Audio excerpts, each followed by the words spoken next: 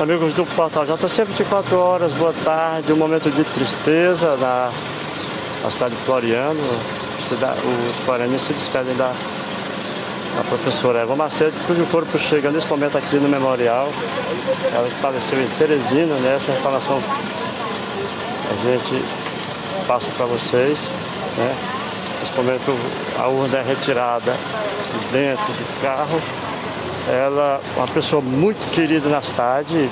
Eu digo isso pela quantidade de mensagens que nós recebemos de pessoas perguntando acerca da chegada do corpo, né? E a gente registra aí com muita tristeza, lembrando que lá dentro já tem muitas coroas, coroas de flores que foram trazidas aqui por várias pessoas, várias entidades, né?